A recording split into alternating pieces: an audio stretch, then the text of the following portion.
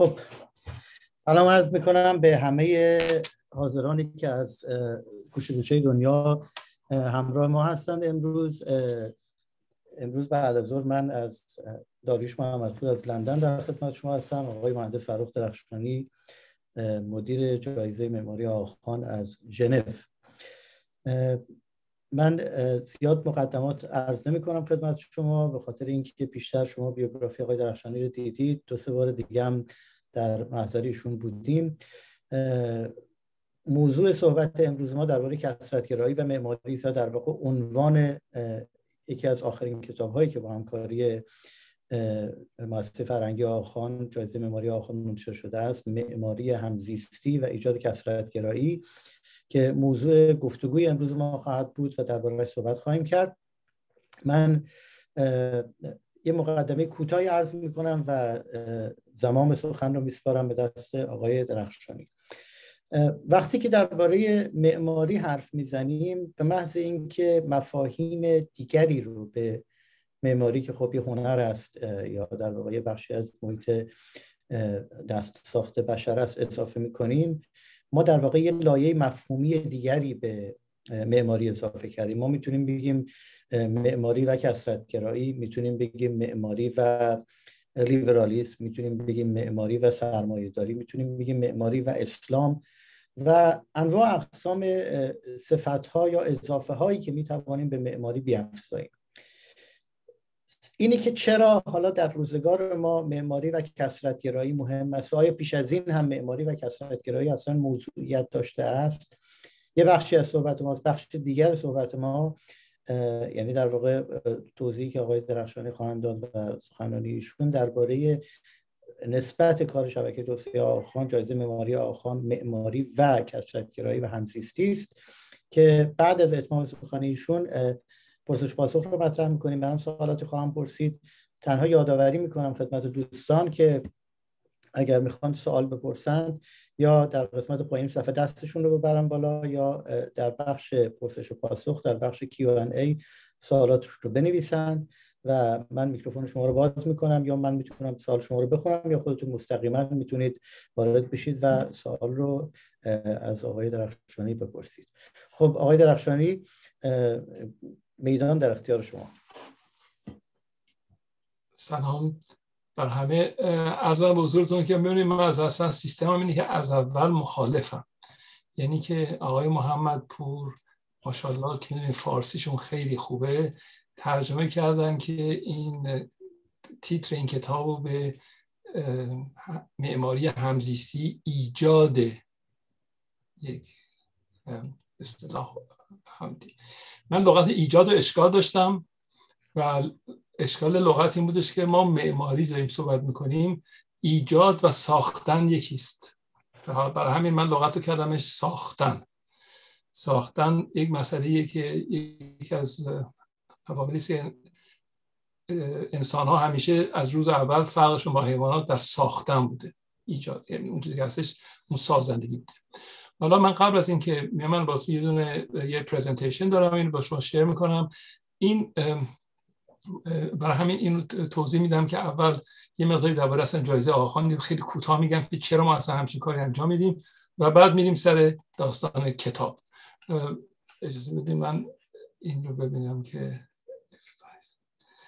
اگر آقای خب شما می‌بینید این سکرین رو یا نه؟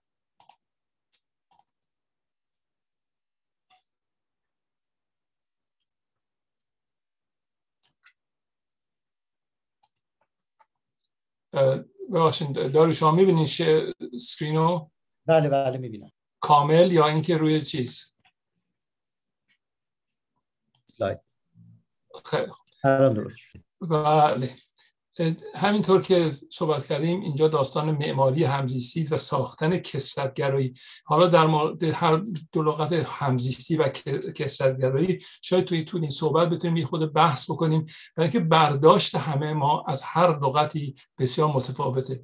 لغت کسرتگرایی بعضی مسئله هست که لغت هایی که باب میشن بعضی ها لغت هایی هستن که در یک زبان های یک معنی خاصی دارن که ترجمهشون خیلی مشکل میشه. این یکی از مسائلی که ما کلا داریم در همه زبان ها و فقط به زبان فارسی یا اینها نیستش. در من همینطور که این مدتی است که در این کشور انگلیسی زبان زندگی می‌کنم فرانسه زبان هستم می‌بینم که چقدر در بعد از چند سال وقتی صحبت می‌کنیم یه دفعه یه لغت فرانسه رو به کار می‌برم یا وقتی فارسی یا وقتی انگلیسی برای اینکه اون یک لغت خیلی بیشتر از اون یک لغت رو تداعی می‌کنه. جایزه معماری آخان همونطور که می‌دونین همتون وقتی که درست شد داستان چهل و چند سال پیش هستش. اومد و در اولین سری پروژه هایی که جایزه داد به 15 پروژه نگاه کرد. و اگر ما لغت کسرتگرایی رو بخوایم نگاه کنیم در تفاوت هایی که بین این پروژه ها چه از نظر نوع کار کرد و اینها هستش. یعنی چی؟ یعنی ما به جای که یک نظریه در مورد معماری داشته باشیم معماری در ابعاد مختلف نگاه می‌کنیم. پس یکی از این مسائلی که از اول اساس جایزه معماری آقاخان برای این بوده که یک جهانگرایی رو نگاه کنیم. یک بیشتر از اون به اصطلاح یک چیزهای دوگمی که وجود داشته یا بحثهایی که وجود داشته اینها مطرح بشه. این داستان شهر خورده سال پیش هستش. همونطوری گفتم تو این چندین سال تعداد زیادی پروژه جایزه گرفتن که وقتی دیدم تو این 122 پروژه میره واقعا می‌بینه که یک نوع شاید بگیم کسرتگرایی وجود داره ولی آنچه هست همه اینها به هم ارتباط هم دارن. چون کسرتگرایی اگر بخوایم لغتش بگیم این نیستش که همه چیزهای مختلف باشه. مثلا اینکه رابطه این اکثر این کسی بودن این رابطهشون با هم چی هستش؟ و اون مسئله ای که ما می‌خوایم امروزی خود دربارش بحث بکنیم. این پروژه هم هم تو کشورهای مختلف دنیا بودن. این برای جز فقط که ایده بدین از جایی که ما میاییم در این مدت جایزه آخانی که از کارهایی که ما کردیم چاپ کتاب بوده. یه مقدار کتابی داریم توی هر از این بعض از این کتاب ها یک مطالبی نوشته شده که تو هر کدوم از اینا اگر به چند سال گذشته برگردیم یعنی از این چندین کتاب که در سالهای مختلف برای هر دوره سه ساله جایزه چاپ شدهش توش گاهی وقتا ما یک مطلبی رو که بعضی از هیئت جوری یا از کسایی که هیئت امنای ما هستن نوشتن توش می‌تونیم ببینیم که خیلی درباره این مسئله پرولیزم یا کسرگرایی صحبت می‌کنیم. البته ما یک بحث جالبی داشتیم وقتی داشتیم کتاب تیتر کتاب معماری و اون کتاب آبی که در وسط می‌بینین کتاب معماری و هم, هم کسرتگرایی به اصطلاح. و بین لغت plurality و pluralism یه مقدار بحث زیادی شد در هیئت امنا که کدوم کتاب کدوم لغت بیشتر این مفهوم رو میاره؟ و اگر خواستین می‌تونید به اون کتاب مراجعه بکنین و یه مطالبی در این باره زیاد هستش. حالا ما میایم ببینیم که وقتی ما صحبت کثرت گرایی می‌کنیم اولین چیزی که همیشه به نظر میاد دینه. مسیحیت و اسلام و یهودی بودن و بودای و اینا. یعنی کسرت رو در دین می‌بینیم. این خیلی دید کوتاهتریه ولی دو تا مسئله مهمتری هستش که اون اینی که یک سری فلسفه های وجود داره مثل کمونیسم که بوده و یک هستش به اصطلاح اون چیزی که کسرتگرایی شاید توش باشه سازمان های جهانی. حالا من اینو این اینها رو بر شما مثل زدم به خاطر که به یک جایی اشاره کنم. و اونجا قازان هست. قازان پایتخت تاتارستان هستش در به فدراسیون روسیه. قبلا اتحاد جماهیر شوروی و امروزه فدراسیون روسیه. تاتارستان یک میشه من برای من خیلی مملکت جالبیه مردم جالبی هستن و اینها همینطور که یادتون باشه وقتی که اتحاد جماهیر شوروی فروپاشید همه به قول مروستان ها هر کدوم شدن یک کشور. تاجیکستان ترکمنستان ازبکستان ارزم بزرگتون قزاقستان. ولی به یه دلایل سیاسی و فرهنگی و فقط دلایل سیاسی نیستش تاتارستان تصمیم گرفتش که به عنوان یک جمهوری در فدراسیون شوروی باقی بمونه. و این برمیگرده به یه تاریخی از اون. و اون این به صلاح پایتخت اینها مثل چند جا در روسیه سابق و نه شوروی یک جایی داشتن به اسم کرملین. یعنی کرملین اونجا بودش که مرکز قدرت بود. در زمان کاترین کبیر وقتی که روس ها از خانات بخارا و غیره این تاتارستان رو گرفتن یک کرملین در اونجا ایوان مخوف در واقع درست کردش و بعد کاترین کبیر هم ادامه داد. حالا این ساختمون هایی هستش که امروزه شما در اینجا می‌بینید. جالبه که همونطور که می‌بینید یک کلیسا اونجا هستش که از اون دور با اون صلیب ارتودکس دیده میشه. اینها بعد از اینکه اینجا گرفتن و یک دونه منار اون ساختمان وسط هم که می‌بینید که میگن یک منار دختر اون هم یک ساختمان اسلامیه. بالای همه اینها در قدیم یه دونه ستاره بود. ولی اینا اومدن بعد از اینکه به اصطلاح کشور تاتارستان درست شد اون ساختمان هایی که اسلامی بودن بالاش اومدن یک دونه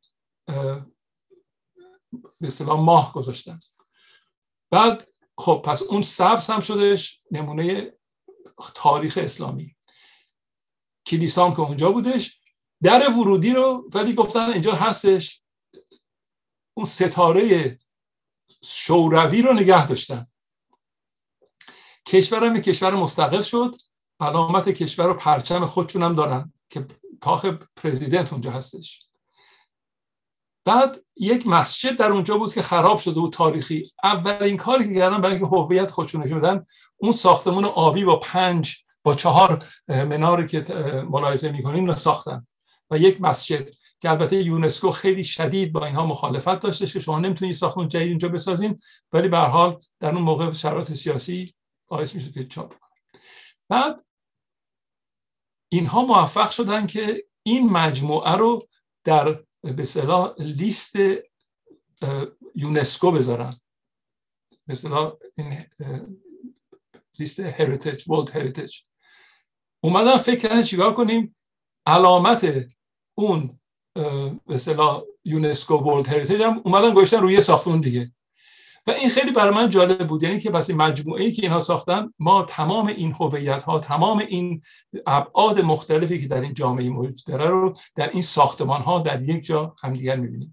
البته اون چیزی که جالبه اینه که این یک کشوری بوده که این مسئله رو خیلی راحت حل کردن. این کسرتگرایی رو به حالت امروزش در آوردن در صورتی که 100 کیلومتر اون طرفتر یک شهری هست مثل بلغار که در شهر بلغار اونجا می‌گفتن قدیما بهش می‌گفتن مکه شرق. چون کسایی که نمی‌تونستن برن به مکه وقتی اسلام آورده بودن برای به عنوان حاجی شدن می به شهر بلغار یه شهر کوچیک هستش.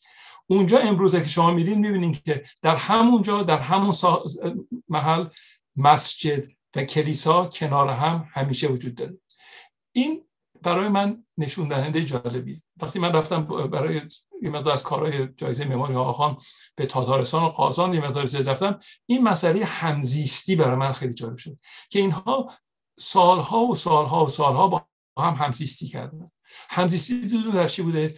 اینا یک منطقه مسلمان بودن. اسلام رو خودشون قبول کرده بودن. به زور به با با شمشیر مسلمان نشده بودن. یه تقاضا کردن که مسلمان بشن و شدن. بعدا وقتی که ایوان مخوف اونجا رو گرفت از اونها و قسمتی از شورویش کردش روسیه سابق کردش تاتارها و روسها شروع کردن با هم ساختن. تاریخ خیلی جالبی داره که اینها چون مسجدهاشون که در اونجا به سیستم ساختمانی بودش مثل ساختمان دیگه بود منار مسجد تنها چیزی که فرق می‌کرد منار بود. یه منارهای چوبی داشتن مثل لولا داشت. هر وقت که ایوان مخوف و غیر دور بودن اینا مناراشون رو میذاشتن. وقتی که اینا نبودن وقتی حمله میشدش قایم می‌کردن منارا رو برمیداشتن. و این نشون میده اون به قول معروف ادپتبلیتی به شرایط روز. این مسئله رو من شروع کردم برای این صحبت بکنم که چجوری کسرتگرایی نوعهای مختلف در جاهای مختلف دنیا وجود داره که اینها انجام میشن حالا همین ببینیم که در این چیزی که هست منظور ما چیه. ما کتابی رو چاپ کردیم به اسم معماری همزیستی ساختن کسرتگرایی داستان این کتاب بر این قرار است که ما وقتی پروژه ها رو بهشون یه جایزه میدیم یک به اصطلاح پولی رو هم میدیم یک جایزه میدیم که این اونها یک دونه کتاب دربارش چاپ بکنن. یکی از این پروژه هایی که برنده جایزه شده بودش پروژه هستش پروژه یک دونه قبرستان مسلمان ها در قبرستان مسلمان ها در اتریش بودش که برای آرشیتکت و اینها با صحبت کردیم. بعد گفتیم کتاب رو ما بیایم در مورد پروژه هایی بدیم به چند تا از پروژه هایی که در اروپا اینها جایزه معماری رو گرفتن. یعنی کتاب رو بیایم به جایی که از طریق صحبت درباره این سه پروژه در مورد ساختن کثرت‌گرایی صحبت بکنیم که آیا اینها از نظر معماری تأثیری بر آن داشتن یا نه. معلف این کتاب هم خانم ازرا اکشمیه هستش که ایشون استاد دانشگاه MIT هستن در امریکا.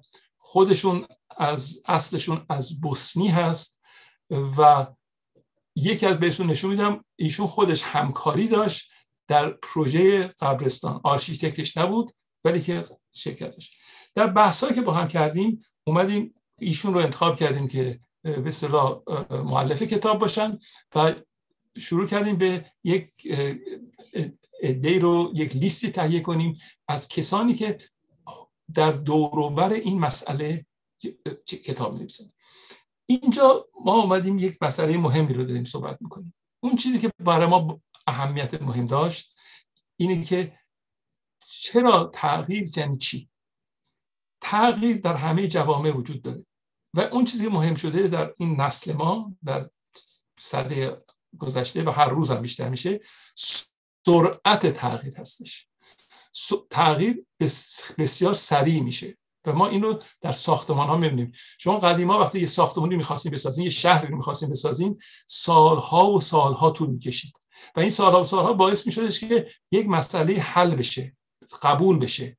اون چیزی که ما الان پروبلم وجود داره در جوامع ما اینه که جوامع تغییر می‌کنن ولی مردم تغییر رو سخت قبول می‌کنن. همه به یکسان تغییرات رو قبول نمی‌کنن.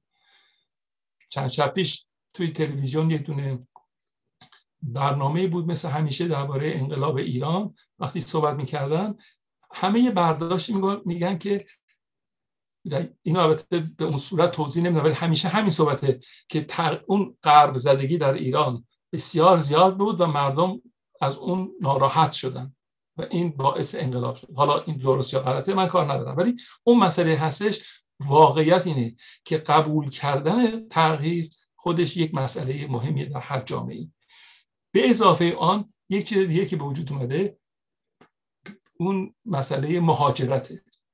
مهاجرت چند صد برابر شده. مهاجرت همیشه در بوده ایلها ایلها افراد مختلف در طول تاریخ از یک نقطه به یک نقطه دیگه رفتن. درباره تاتارستان صحبت می‌کردیم. درباره بلغار که شهر اون جایی که اون دهی که اون شهر کوچیک اسمش بلغار هستش اون کسایی که کشور بلغارستان رو ساختن امروز که اصلا هزاران کیلومتر فاصله داره از بلغار آمدن. ما خودمون به زور مثل در وقتی تاریخ صفویه رو می‌خونیم می‌بینیم که چجوری صفویه و غیره کوچ دادن ایلهای مختلف به جای مختلف. به حال این یه مسئله بوده که وجود داشته. ولی اون چیزی که مهم بود زمان بود. با زمان هر کدام در خودشان حل می شدن اهالی جلفا در جلفای اصفهان به صلاح جزو همون شهر می شدن با یک زمانی که طول می‌کشید و این قبول کردن هستش. ما امروزه این داستان رو داریم که در های خیلی کوتاهی مردم از کشورهای مختلف مجبورن به خاطر جنگ و غیره مسائل اقتصادی مهاجرت های عظیم بکنن به جای دیگه. این چه میشه؟ همه کشورها به خصوص در کشورهای اروپایی جایی که اقتصادشون بهتر هستش تعداد زیادی غیر اروپایی غیر آن شهری میان. و این غیر بودن خیلی مهمه. کی غیره هستش؟ من این مثال مثلا به خاطر اومد که برام خیلی جالب بود. حدود 20 سال پیش من با دو نفر از همکارا رفته بودیم به یمن و یکی از مسافرت های رو داشتیم. از شهر عدن عدن شروع کردیم با ماشین رفتیم به حضرموت به وادی حضرموت. و در اونجا اونجا یک جایی هست به سیون که اینجا یکی از مراکز اصلی اسلام شناسی بوده مسجدهای خیلی زیاد داره و مدرسه های زیادی داشتهش دو همکار من یک خانم عراقی بود که یمن رو مثل کف دست میشناخت و تمام لحجه های همه مناطق یمن رو هم عربی رو با همون لحجه ها بلد صحبت بکنه و نفر دیگه سوها اسکان بود ترک بود. خلاصه یک ترک یک عراقی و یک ایرانی. رفتیم که بریم به یکی از این مسجدها. دم در یه آقای نشسته بود یه پیرمردی. به عربی گفتش که این مسجد مال مسلموناست این خانم گفتش که ما همه مسلمونیم. این ترک این ایرانیه منم عراقی هم. ما همه هم مسلمونیم. یه خود نگاه کرد به ما گفت این مسجد مال یمنی هست. خانم گفتش که من خودم الان 20 سال یمن زندگی می‌کنم مثل یمنی میمونم. گفت این مسجد مال محالی این شهر و همینی که هست. و این برای من خیلی تجربه جالبی بود. یعنی چی؟ یعنی او میاد برای خودش برای به اصطلاح خودش رو اون چیزی که براش نمی‌خواست ما رو راه بده در اون مسجد یا ما رو باور نداشت که ما هستیم مسلمان هستیم اون برای خودش یک سری به اصطلاح سطح درست کرده بود که خودش رو نگهداری بکنه. نگهداری بکنه درباره چیزی که نمی‌دونه چون قیافه ما مال اونجا نبودیم حالا این مسئله مسئله میاره که این کسایی هستن که در یک نقطه های از زمان در یک زمان درازی موندن تغییر نکردن این افراد. ولی وقتی ما در شهرهای اطراف می‌بینیم همین همین ماها در در کشورهای مختلف اروپا یا امریکا اینا هستیم یا در ایران هستیم. اون چیزی که هستش آدم های مختلف هستن و اینها حالا باعث میشن که ما چی هستیم؟ هویت مسئله میشه. و هویت اون چیزی که هستش هویت لایه های لایه لایه هستش. فرهنگ لایه لایه هستش. و هیچ کدوم از این لایه ها برتری بر اون یکی ندارن. اون روزی که ما هر روزی که بخوایم که یکی از این لایه های فرهنگی رو یکی از این لایه های هویت خودمون رو هر کدوم رو بهتر از اون لایه دیگر بدونیم خودمون دچار اشکال میشیم. این این مسئله بود که وقتی من بچه ها میفرستادم مدرسه محل هر روز اول سعی کردم به بچه ها بگم که چون بچه هم چون همشون دو تا بچه هم در سوئیس به دنیا آمدن. ولی هیچ وقت نمی‌گفتم ما سوئیسی هستیم. می‌گفتن همیشه یاد گرفتن از بچه کوچیک ما ایرانی هستیم در سوئیس به دنیا آمدیم. و این مسئله می‌گفتیم. ولی خیلی زود بهشون گفتم ببینید شما خودتون اینه که هم مثل سوئیسی ها هستین هم مثل ایرانی ها هستین هم بهتر انگلیسی هم بلدین. یعنی میشین دو سه لایه مختلف و این باعث قدرت میشه که بتونیم هر جایی در هر نقطه ای آدم بتونیم ببینیم این هویت های چنگانه این لایه هایی که هویت هستش اصلی هستش که ما باید در نظر بگیریم. و اون چیزی که هستش ما سعی کردیم بعضی از این لایه ها رو توی این کتاب خواهش کنیم اطراف اشخاص مختلف دربارش بنویسن. من حالا نمی‌دونم بحث کنم درباره هر به سرفصل و هر مقاله که در این کتاب هست. ولی کسانی که این کتاب در اینجا ما انتخاب کردیم که اینجا بنویسن کسانی بودن که هم از نظر تاریخی آگاهی داشتن هم به اصطلاح از نظر یکی از مثلا آقای محمد الاسد درباره کسانی که در خارج از اون جایی که هستن می‌سازن چه مسائل داره؟ یا ناصر رباط درباره اصلا تاریخ سلاح ساختمان قبرستان ها مقبره در اسلام که خیلی مسئله مهمیه. اینا نوشته. و کسان مختلف. حالا من میام یه کاری که می‌کنم سعی می‌کنم که بعضی از اینها رو در این پروژه هایی که هستن دو سه پروژه که در اینجا مطرح شد اینها رو با این توضیح این پروژه بعضی از این مسائل رو بیارم و انشاءالله که بعد از اینکه صحبت هم تموم شد این پریزنتیشن با از داریوش خواهش می‌کنم یه سوالات سختی از من بکنه که من بتونم یه جوابای خیلی آسون بهش بدم. و شما دوستانم همینطور. خیلی جالب بودش. من اومدم و نگاه کردم ببینم که می‌خواستم که همین درباره معماری همزیستی ساختن کسرتگرایی یا ایجاد که صحبت بنویسم یک دفعه دیدم که خیلی جالبه. توی ایران چند ماه پیش به فاصله این کتاب در اومده این نق... معرفی این کتاب کردن. سایت صدای معمار خیلی خوشحال شدم. و این نشونه اینه که ما واقعا در همه مواد مختلف همه اشخاص با هم در ارتباطن. همه خبر داریم که چی میشه. همین قدر که اگر کتاب الان نیستش در ایران این که دانشجوها جوان ها ببینن که اصلا همچین مسئله مطرح میشه این خودش بر ما خیلی جالبه. همونطور که می‌بینین ما اشکال کلمون در این که اسما رو می‌تونیم چیز بکنیم اشتباه بنویسیم به فارسی. اینجا نوشتن نوشته ازرا اقجامیجه. این اکشمیه رو کردن اقجامیه. حالا این پروژه این کتاب یک فرق بسیار بزرگی با کتاب های دیگه معماری داره. ما شروع می‌کنیم از پروژه اول پروژه بوسنی. در این کتاب یکی از کارهایی که ما به صلاح خواستیم بکنیم این که یک تعدادی مصاحبه هست با اشخاص مختلف درباره اون جایی که هستن درباره اون ساختمان درباره تجربه هاشون. گذاشتن این تجربه با هم مهمه. ما اینجا در مورد پروژه که در بوسنی هستش با یه تاریخ هستش تاریخ کسی تاریخ می‌دونه با یه امام مسجد صحبت کردیم به آرشیتکت مسجد که یک دونه اهل کروات هستش که اصلا مسلمان بوسنی نبودش. این مسجد در زمان یوگسلاوی ساخته شده و ایشون آرشیتکت کروات بودش که اونجا ساخته بود و غیره. و اینها رو جالبی که اشخاص با ما اون چیزی که ما می‌خواستیم بگیم در کتاب این که معماری رو با انسانها در رابطه بذاریم. جامعه رو نگاه کنیم. از طریق صحبت کردن با جامعه معماری رو برگردونیم بشناسیم. و این چیز مهمیه که این دیالوگ در این کتاب وجود داره.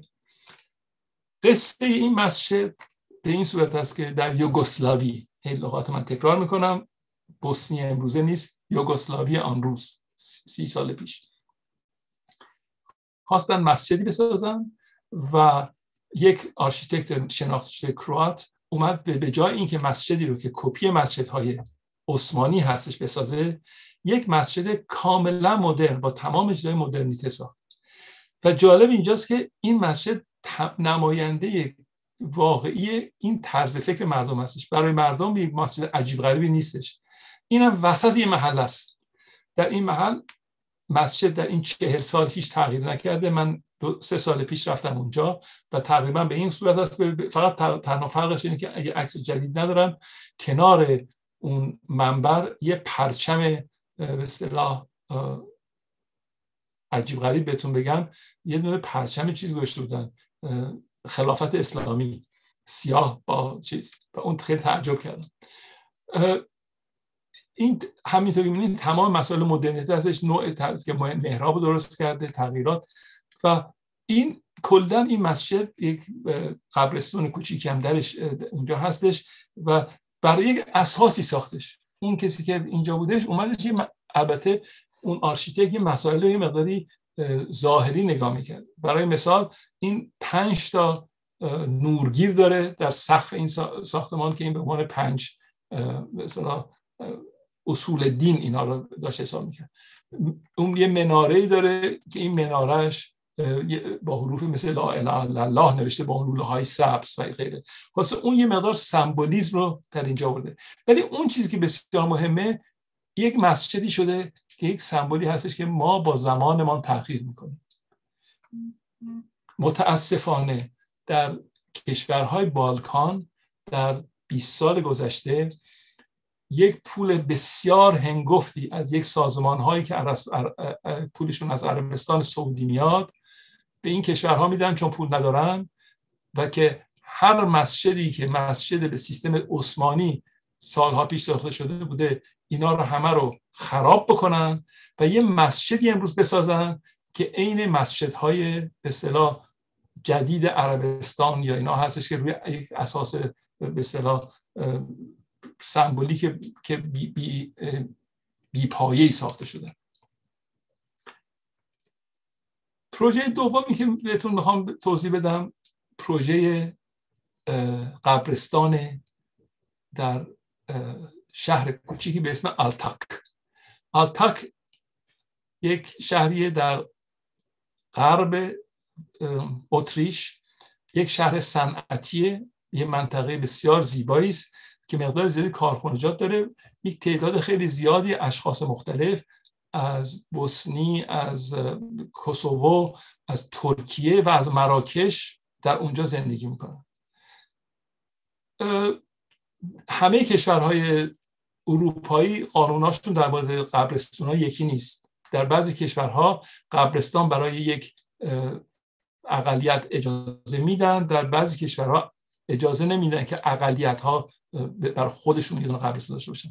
در اتریش در وین این همچین قانونی وجود داشته که قبرستان برای مسلمان ها بود و این اومدن در این منطقه خواستن این قبرستان حالا قصه جالب تر چی هستش؟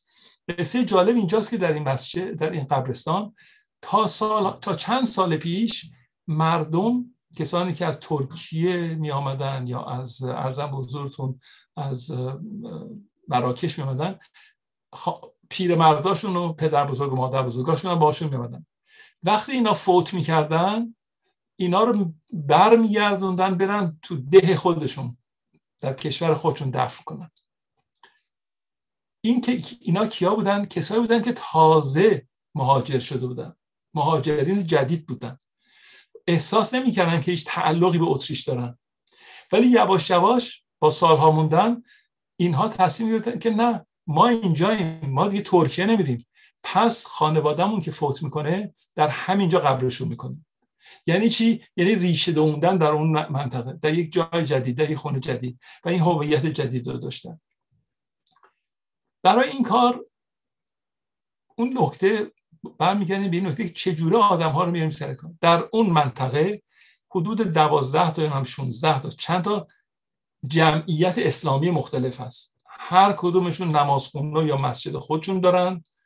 اونا که ترک هستن با خودشون هستن اونایی که نقش بندی هستن با خودشون هستن اونایی که از بزرگتون که از مراکش اومدن با خودشون در هیچ موردی هم اینها با هم توافقی ندارن.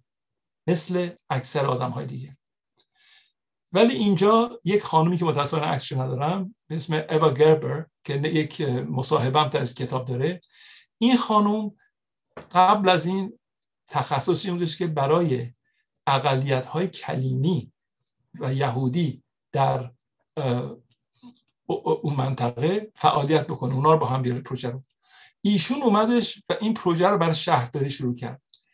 و فهمیدش که تنها چیزی که همه این عده گروه های مسلمون مختلف با هم توافق دارن در مرگ تنها نقطه مشترکشون در مراسم مرگ با هم هم چیز هستن. پس این قبرستون رو درست کردن. این قبرستون از یه آرشیتکت خواهش کردن که درست کنه آقای که عکسش می‌بینید اینجا برناردو بادر. و این در دل یک کوهستان بسیار بسیار زیبایی این قبرستون رو به صورت یک باغ تقریبا درست کرد. که چند چند تا چیز مختلف داره که یواش یواش این کسایی که فوت می‌کنن رو در اینجا قرار بکنن. اینجا یه این اومدن این جمعیت های مختلفی که بهتون عرض کردم با هم توافق کردم صحبت کردم. در ضمن بایستی باشین که یک چیزی که وقتی کار به اصطلاح هم همچین عملی انجام میشه یه عده اتریشی عده آدمای محلی ممکنه با این کار مخالفت بکنن. ولی با در نظر گرفتن و همکاری همه اینا با هم اون خانومی که خودش مسلمون نبود و خودش کارها رو انجام کارش این بودش که اقلیت ها رو دور هم بیاره او موفق شد که این کار رو انجام بده که همینا رو به هم بیاره و این یک پروژه رو تکمیلش بکنه. این پروژه با یک الهام چیزی گرفته یک پروژه کاملا مدرنی هستش. اینجا اون جایی که به اصطلاح میت رو می‌ذارن و نماز میت می‌خونن روش کنارش در چون وسط بیابونه باشه کمترین فقط یه اتاق داره که اتاق نمازخونه شون هستش. این از بیرون همینطور که می‌بینین و یک کاری که جالبه اون خانم ازرا اکشنیه ایشون به صلاح این کار رو انجام داد که قبله پنجره این پنجره پنجره قبله است. و ایشون با یه اینستلیشنی به قول معروف با یه مقدار زنجیر و یه چوبا که روزش گذاشته بودش لغت لا اله الا الله رو نوشت روش و این لا اله الا الله فقط از یک زاویه های دیده میشه. ولی اون چیزی که هستش توی ساختمان هم می‌بینیم توی مسجد یک نور رو میاره و اون یک بازی با نور و سایه روی زمین می‌کنه. این هم این مسجد در حال چیز هم می‌تونید بخونین یا نه که نوشته لا اله الا الله. و این واقعا شده نقطه که تمام این اشخاص دور هم میان. پس یعنی چی؟ این معماری تونسته یک عده اشخاص مختلفی که با هم توافقی ندارن رو دور هم جمع بکنه. و در ضمن سمبولی باشه برای همشون. هیچکی نمی‌تونه بگه که این شبیه کار ترکاس یا این شبیه مال نقشبندیه یا این برای اینکه یکی از مسائل مختلف اون به قول خارجی ها representationه. اون چیزی که نمادی که ما از خودمون می‌خوایم نشون بدیم که اینو میایم گاهی وقتا با ساختن یک دونه فرم های که مثلا آریه‌ای هستن اون رو انجام میدیم. پروژه سومی که به شما می‌خوام صحبت بکنم پروژه سوپر کیلن هست. به یک نوعی همون داستان هست. اینجا باز شما می‌تونید تو این کتاب بعضی مصاحبه های کوچیک ببینیم. بر من جالب ترین مصاحبه مصاحبه اون آقایی که اون دست راست هستش اسمش امام علی هستش. امام علی امام مسجده. ایشون در دانمارک به دنیا آمده یعنی اصلا دانمارکی پدر مادرش پنجاه سال پیش مهاجرت کردن و او با دانمارک ولی خیلی جالبی که خودش رفته و امام مسجد شده و امام وارداتی نیستش. برای یکی از مسائلی که هستش این امام های وارداتی هستن. این آدم های مختلف در اینجا چه اتفاقی افتاد؟ محله سوپرکیلن در نورنبرگ هستش در شمال کوپنهاگن هست. و این همیشه محله کارگرنشین و فقیرنشین بوده.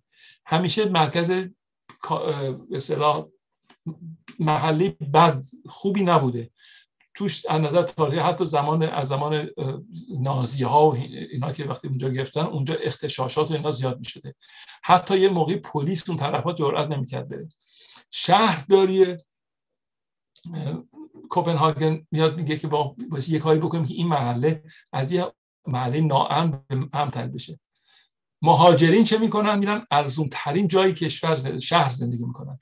و یواش یواش تمام این ساختمان ها این محله شد اکثریتشون با مهاجرین. مهاجرین زیاد یا یا کسایی که دانمارکی های کمپور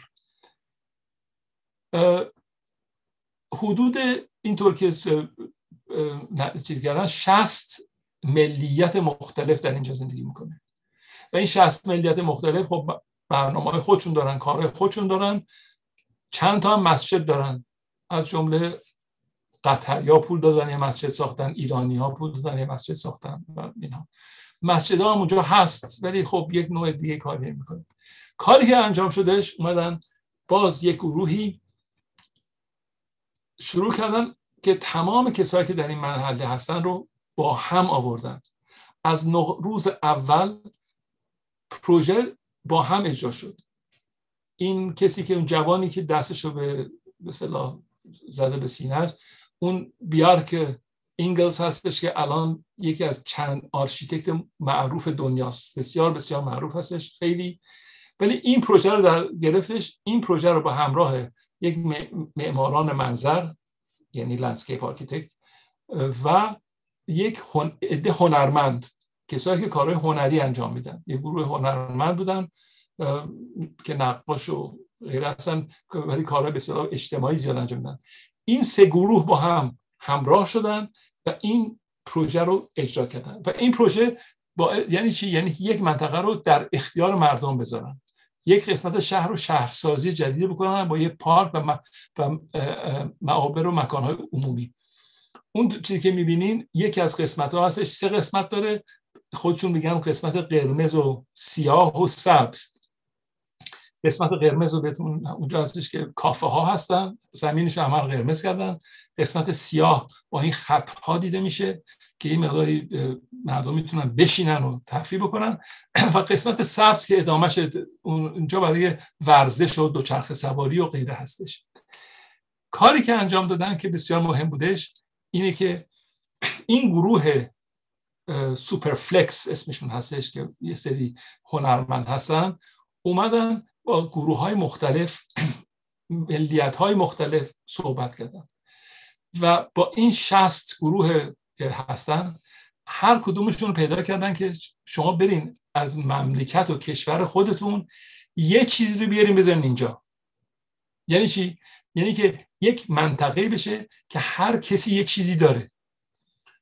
یک مثلا از یک جایی ایستگاه اتوبوس آوردن از یه جای علامت خیابون آوردن از اسپانیا گاو آوردن که تو علامت که تو چیزا میزن اینا. و مثلا فرض کنید از مراکش یه دونه حوز آوردن اونجا گذاشتن. و یکی از جالب ترین کارا فلسطینی ها بودن. فلسطینی ها گفتن شما چی از کشورتون می‌خوان بیارین؟ رفتن بالای تپه یه مقداری خاک آوردن از فلسطین و خاک فلسطین رو ریختن اونجا. گفتن این چیزی که ما بهش به صلاح بستگی داریم. و این اون چیزی که به وجود اومد یه منطقه اینجا شد که در این منطقه همه بچه ها و همه می‌تونن با هم یک همزیستی باشن. یعنی چی؟ معماری باعث اون چیزی شد که کسرتگرایی و اون ایجاد کسرتگرایی و همزیستی همه با هم. اون مسئله است که چجوری معماری و شهرسازی می‌تونه در این مورد چیز باشه. از کشور ایران از شهر کرمانشاه دو تا صندلی آوردن که روی این صندلی همه نمی‌دونن چی نوشته ولی فکر می‌کنم یکی از زیباترین شعارهایی هستش که یکی می‌تونه درباره زندگی و محلی که مخصوصا بره باشه. و اون چیزی که هستش که چجوری ما اون چیزی که داریم در اون جایی که زندگی می‌کنیم می‌تونیم از اون بهش دل ببندیم اون رو هم شهر خودمون بدونیم و اون چیزی که هست در اون کسرتگرایی و همزیستی موفق باشیم. خیلی متشکرم. خب خیلی ممنونم آقای درخشانی بابت ارائه بسیار جالب و هیجان انگیز و داستانهایی که آوردید. حالا چون خود خودت گفتی سوالای سخت بپرسی من سوالای سخت رو می‌پرسم. امیدوارم که جواب ساده ندید دو تا سوال می‌خوام بپرسم و بعد یعنی در واقع از موقعیت خودم دارم سوء استفاده می‌کنم و بعد میدان رو واگذار می‌کنم به حاضرینی که در جمع هستن. سوال اول من اینه که اگر به پیشینه کار شبکه توسعه آخان نگاه کنیم و در واقع جایزه مماری آخان و چارچوب و کلان مؤسسه فرهنگی آخان هویت به یه معنای جز عناصر و معلفه هایی بوده که از ابتدا در کار جایزه معماری آخان مهم بوده. و از سوی دیگر ما درباره الان می‌بینیم که درباره کسرتگرایی صحبت کنیم درباره همزیستی صحبت کنیم و جدای از کارهای عملی که در در میدان یعنی در واقع توی رو زمین انجام شده یه سلسله کتاب منتشر شده. که از یه از, از یه جهت دیگر در نقطه مقابل هویت. چون به محضی که از کسرتگرایی صحبت می‌کنیم یعنی در واقع از جدی گرفتن دیگری که با ما متفاوت هست داریم حرف می‌زنیم. و از هویت که حرف می‌زنیم یعنی چیزی که مال ماست یعنی چیزی که ما رو از دیگری متمایز می‌کنه. حالا چطور می‌تونیم از طریق این معماری همزیستی رو جوری ایجاد کنیم که مزاحمتی برای هویت ایجاد نکنه. یا برعکس هویت رو چجوری حفظ می‌کنیم که برای همزیستی مزاحمت ایجاد نکنه و جا رو برای دیگری تنگ نکنه؟ این مثال هایی که شما زدید خب دو سه مورد اینجوریه. این چگونه می‌تواند حالا هم از طریق ساخت و ساز هم از طریق انتشار کتاب الگویی بشه یا بتونه در واقع فرهنگی رو ایجاد کنه برای اینکه ما توی دنیای دیگری داریم زندگی می‌کنیم. که این دو تا مؤلفه که ظاهرا در تنش هستن با هم دیگر کنار هم بنشونه و کنار هم حفظ کنه که شما کسدگرا باشید. در این حال هویت متمایز هم داشته باشید. می‌خواید سوال دوم رو بپرسم یا الان به این می‌خواید جواب بدید؟ این جواب من برمیگرده به همون داستان لایه ها لایه های هویت. و اینکه تضاد رو تضاد لایه این لایه ها با هم تضاد نداشته باشن. ما ما فکر می‌کنیم البته می‌دونیم چون از از اونجایی که هنر نزد ایرانیان است و بس ما فکر می‌کنیم که ایران به این مسئله رو داشته. به چه خاطر؟ به خاطر اینکه یک فرهنگی ما داریم که فرهنگمون به صلاح نمی‌دونم لغت های درستش رو چجوری استفاده کنم مسئله به قول معروف اینکلوزیو و اکسکلوزیوه یعنی ما فرهنگمون اینکلوزیوه یعنی ما همه رو قبول داریم. همه رو به این قبول داریم ولی هیچ کس هم قبول نداریم.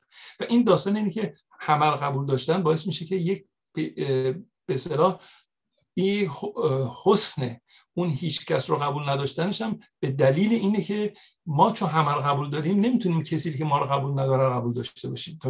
این داستان باز برمیگردیم به همین داستان لایه هاست. و اون چیزی که بسیار بسیار مهمه اینه که ما چجوری چه چیزی هستش که ما این برمیگردیم ببینیم که اون چیزی که بخوایم از خودمون درس بگیریم از کسایی که فارسی زبان هستن ما تونه اون چیزی که ما رو به هم بیشتر از هر چیزی وصل می‌کنه اونقدر تاریخ نیست چون تاریخ رو تازه داریم می‌شناسیم. تاریخ هخامنشی رو ما 100 ساله می‌دونیم تاریخ هخامنشی چی هستش 200 ساله می‌دونیم. اون چیزی که هستش اون فرهنگی که ما رو به هم ارتباط میده. به همین دلیلی که وقتی می‌بینیم که هموطنهای که مسلمون نیستن در امریکا چقدر برای فرهنگ ایرانی کار می‌کنن و همینطور کسایی که زبون نمی‌دونم من یه دوستان زیاد ارامنه دارم و بعد با چه احساس می‌کنم که اینها تونستن هزاران سال با کشورهای مختلف زندگی کردن زبون خودشون رو نگه دارن. حالا که اومدن توی مثلا در سوئیس زندگی می‌کنن یا در امریکا فارسی در بچه هاشون فارسی حرف می‌زنن. در صورتی که اون نسل اولی که بعضی هستن که به صلاح خودشون ایرانی تر می‌دونن اولین کاری که می‌کنن زبون فارسی رو یه مقداری کنار می‌ذارن به خاطر ضعف که به اصطلاح جنریشن این مثلا برمیگردیم مسئله زمان. زمان خیلی تاثیر مهمی داره. چون ما یه مقدار زیادی در گفتیم درباره کسایی که چه هویتشون در خارج چجوری می‌تونن نگه دارن. معمولا بین نسل اول و نسل دوم مهاجرین یه تفاوت بسیاری هست. مال همه همه کشورها مثلا. نسل اول مهاجرین وقتی میان از خودشون مطمئن نیستن. نه زبون درست بلدن نه چیزا پس سعی می‌کنن کاملا نه همه اکثریت نسل اول. سعی می‌کنن خودشون رو اصلا جا بزنن مثل کسایی که منطقه محل هستن. ولی نسل دوم برمیگردن خیلی بیشتر به اون چیزی که هستن بلکه می‌دونن که اطمینان دارن که در اونجا به اون لایه جدیدی که توش هستن به دنیا آمدن که دارن هیچی. می‌تونن استفاده کنن از این لایه ثانویه لایه دیگه که هویتشون هستش. و حالا مسئله اینجاست که ما اون هویت هایی که وجود داره رو چطوری بتونیم اینا رو به اصطلاح عرضه کنیم؟ عرضه کردن هویت و هویت های ثانوی. متاسفانه وقتی ما مثلا می‌بینیم که مثلا باز میگم مثلا ایرانی می‌زنم اون اتفاقات فرح به قولی فرهنگی که در لس آنجلس اتفاق میفته یک فرهنگ کاذبی رو به وجود میاره که بعضی فکر می‌کنن ایرونی یعنی اون فرهنگ ایرانی. در صورتی که بعضی از قسمت هایی که خیلی مبتزل هستش رو میاره جلو. در صورتی که یه عده زیادی هم با اینکه می‌خوان به زور بچسبن به یک سری مسائل خیلی به اصطلاح بسته. اصلا بقیه رو گور می‌کنن. نمی‌دونم چون با داریوش صحبت کردم حالا بقیه هم اگه کسایی که دوستان هستن برن نگاه کنن. یه عده از کسایی که ایرانی هایی توی پاریس برای عید نوروز دارن یه مقدار زیادی فعالیت هایی می‌کنن که این فعالیت هاشون برای بخوان برای دو هفته در مورد موسیقی و تئاتر و غیره و اینا به اصطلاح کار می‌کنن. و بسیار جوان هستن همشون با شدت دارن کار می‌کنن. من چند وقت پیش به یه نفر از کسانی که یه خود سنش از من بالاتر هستش یعنی خیلی پیر منظورم مثل من از منم پیرتر. به اون که خیلی به فرهنگ ایرانی براش مهمه اون نویسنده است و اینها گفتم آقا شما هم بیاین می‌تونی یه کمکی بکنین چیز به فکر رو می‌رسه. بعد اون متن چیزهایی که فرستادن براش خب یه متنی بودش که اینا به فرانسه درست کرده بودن فرستادن. یک نامه بلند بالا یک تکست بزرگ در این واتساپ بر من نوشت که این ایرانی هایی که زبان خودشان را نمی‌خواهند صحبت کنن بهتر از درباره ایران اصلا صحبت نکنن گفتم آها شما من ندیدم یه عده درباره فرهنگ اینقدر بتونن گسترده در مدت کوتاهی کار بکنن. و این مسئله مهمه. چه شما با اینا بد هستی. و این مسئله همینه که اگر که من شما رو نمی‌فهمم شما پس من اگه شما اگر من شما رو نمی‌فهمم شما نباید منو بفهمید. این حالتیه که ما به اصطلاح از اون طرز فکر inclusive و exclusive متفاوت میشید یکی از البته من کارم نه جامعه شناسی هستش نه اینا ولی گاهی وقتا ایرانی ها رو با ترک ها مقایسه می‌کنم. و می‌بینم که اون چه اتفاقی افتاد آتاترک چه کرد بر ایران بر ترکیه؟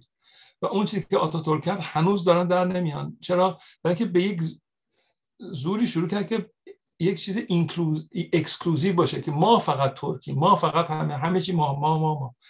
و نخواست بقیه رو قبول کنه. کردا رو قبول نکنه. به کردا می‌گفت ترک کوهی. توجه کنید این برخورد و این بر این همیشه اجتماع بر بر علیش برمیگرده به خیلی شدت زیاد. و اون چیزی که می‌بینیم که در ترکیه اتفاق افتاده که من فکر می‌کنم خوشبختانه در ایران ما یه همچین اشکالاتی رو نداریم. این از مسئله به صلاح لایه هایی که می‌خواستم بهتون صحبت کنم. حالا نمی‌دونم شما از این راضی بودی یا از جواب یا نه. بنده همیشه از شما راضی هستم. من برای اینکه به سوال بعدی بریم آقای فرهاد مرتضایی سوال دارن. من ایشون رو فکر کنم باید بینم بدم پیداش می‌کنم که خودشون بپرسن سوالشون رو. سلام جناب درخشانی. خیلی ممنون. من یه چیزی که توضیح خیلی من دیده بودم راستش رو بخواین. خودم سر در نیوردم که چرا اینا برنده جایزه آقا شدن. ولی دومم نمی‌شد که جای علنی بپرسم. خب جو از باز کمرو هستی. من می‌شناسم چرا کم خب، آره. این سال من واقعا سوالی هستش که باش درگیرم به عنوان کسی به عنوان معماری که دارم کار می‌کنم. الان داشتم تایپش می‌کردم که از سوال اصلی من سوال من اینه که یه پارادوکس یه تضاد عمده وجود داره توی این معماری یا فضایی که می‌خوام به عنوان یک فضای کسرتگرا ایجاد بکنیم. به این شکل که نمونه های موفق این نوع ها وقتی هستش که معمار یا طراح یه موقعیت بالادی دست, دست بالا رو داره به خاطر اینکه کارفرما یا استفاده کننده نهایی از این فضا موقعیت ضعیفتر داره. یا به خاطر چیز مالی هست یا به خاطر سیاسی. حالا مثلا تو اون اتریش میگن آقا فقط برای اون دونه قبرستون درست کنی مسجد درست کن. هر چیزی که این شهرداری و سیاستمدارا و همسایه رو راضی نگه داره ما به اون راضی هستیم.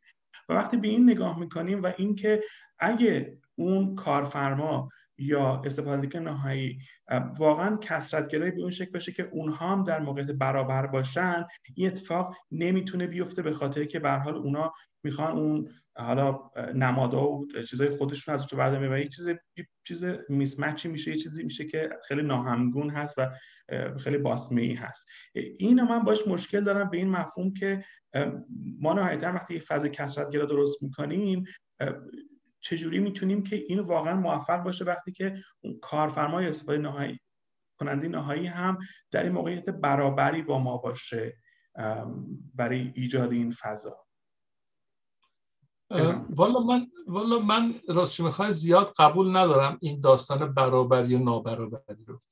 برای اینکه اون چیزی که هست آدم باید همیشه به قول این حالا یاد گرفتیم که اینا میگن در, در یک حالت وین وین باشیم. هر دو برنده برنده برنده. برای از دقیقه که ما رابطه رو با برنده و بازنده بخوایم شروع بکنیم این خودش یه مسئله اصطلاح حل نشدنی میشه. یکی از این چیزی که بله وقتی که فرض کنید که یک نفری برای به وجود آوردن هر پروژه معماری شهرسازی یا غیره دو طرف لازمه. یکی طرف یعنی دو طرف بیشتر از حتی دو طرف چندین طرف لازمه. یک طرف کسیه که در موقعیت به اصطلاح کارفرماست. ما به فارسی میگیم کارفرما یعنی می دستور کار رو میده. او می‌گوید که من یه همچین چیزی می‌خوام.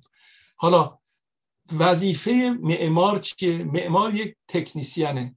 کار معمار اینه که اون چیزی که اون به صلاح کارفرما می‌خواد رو یک راه حلی براش پیدا کنه.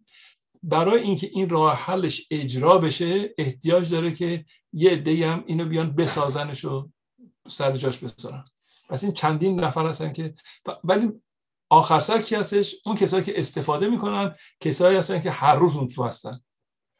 بیمارستان. وقتی شما یه بیمارستان می‌سازین یک کارفرما هستش که یک بیمارستانی رو درست می‌کنه؟ یه آرشیتکتی هستش یه دکتر هستن یه مریض. همه اینها در آخر سر اون مریض دکترها هستن که اونجا ادامه میدن کارشون هر روز. برای اینکه کارفرما ممکن هر روز سر کار نباشه. معمارم که اصلا خداحافظ شما رفت. این داستان اینه که چند طرف است.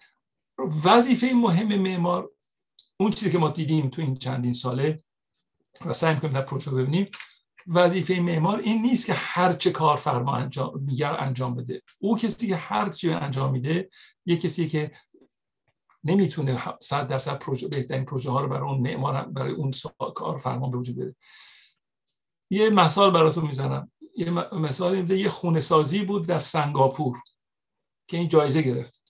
حالا تفاوت این حالا دلیلای هوا رو ازش رد می‌شد و نمی‌دونم خیلی به اقلیم کمک می‌کرد و اینا رو بذاریم کنار.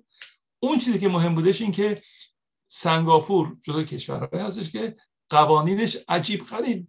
ریز و با میلیمتر میلیمتر میگه این کار بکن اون کار بکن این کار بکن انجام بدین این معمارها اومدن با یک معماری به اصطلاح خلاق خلاق که عربی innovative هر چی دلتون می‌خواد بگین. این رو این ساختمون ها رو طوری ساختن که مت تونستن که به خاطر که این هوای خوب داره میاد اینا یه مقداری کلک بزنن فضای بیشتری رو درست کنن. یه جوری درست کنن که اتاقا به نظر بزرگتر بیاد و غیره. با ولی ثابت کردن به اون کارفرما که این گرونتر نمیشه از اون چیزی که تو می‌خوای سرمایه گذاری بکنی. ولی من به یک چیز بهتری تحویل میدم.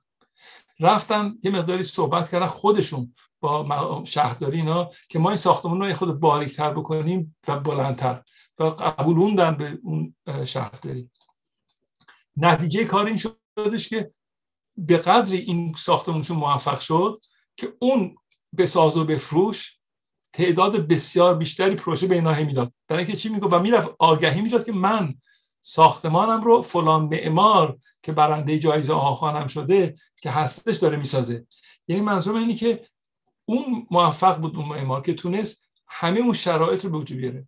ولی در ضمن معماران هستن که وقتی که شما خودشون اشکالات معماری رو که انجام میدن پروژه رو درست می‌کنن وقتی بهشون میگی چرا اینجوری شد میگن که یا پولش کم بود یا قانونش بد بود یا اینا. اینا همه به اصطلاح کانسترینت ها همه این اشکالات همه وجود دارن. وظیفه اون معمار خوب هستش که بتونه تا اونجایی که می‌تونه به اینها جواب بده. ولی اینو من باورم نمی‌تونم قبول نمی‌تونم بکنم که در واقع موقعیت کمی است. اگر موقعیت خوب نیست مجبور یک موقع یک موقعی هم نبگه. و اکثر موقعیت کسایی که نه رو درو در نقطه درست میگن بسیار می‌تونم بلکه یه چیز بهتری رو تحویل اون کارفرماشو میدن. ولی بعضی وقتا هستش که بعضی از پروژه ها و اینها به اون صورت نیستش که انقدر مثل مثلا این قبرستون یا مثل ارزم به حضورتون چیز پروژه سوپر کیلن هم, هم, هم فکری وجود داشته شانس میشه. مثل داستان مسجد ویزوکو که نشون دادم. فکر نمی کنم که اون معمار کروات اونقدر رفتش با همه اهالی محل صحبت کرد که شما یه مسجد دل سفید باشه یه چرنگی باشه. نمی‌خوای نمی‌دونم که سقفش چی باشه اینا. او یه چیزی به وجود آورد. حالا از شانسش از خوبش اینه که همه قبول کردن به عنوان یک سمبل شهرشون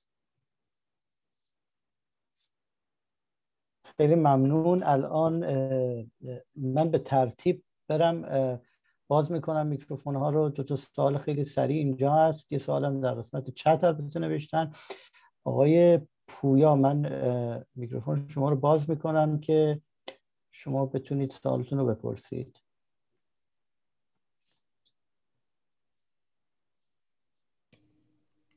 من سلام عرض می‌کنم خدمتتون. صدای منو میشنوین؟ بله بله. بعد من می‌خواستم بپرسم که نظر شما راجع به واژه معماری اسلامی چیه؟ چون من تو تورنتو در واقع دانشگاه تورنتو هستم و خیلی برداشت غربیا به نسبت اون چیزی که ما تو ایران راجع معماری اسلامی داشتیم متفاوته. و خب بحث کسرتگرایی و ارتباطش با در واقع اون محدودیت هایی که واژه معماری اسلامی ایجاد می‌کنه رو اگر توضیح بدیم برای من جالبه. ممنون میشم. این از اون بحث هایی که چون زیاد و زیاد و زیاد و زیاد انجام شده من در چند تا جمله خلاصش می‌کنم. یک معماری اسلامی وجود نداره. به این خاطر که معماری اسلامی اگر می‌خوایم بگیم هر روزی که گفتیم معماری مسیحی معماری یهودی معماری بودایی معماری اسلامی همه اینها اگر بخوایم میشه یعنی ساختن مسجد و معبد و کلیسا و کنیسه. غیر از این اون چیزی که ما میگیم لغتش اشتباهه.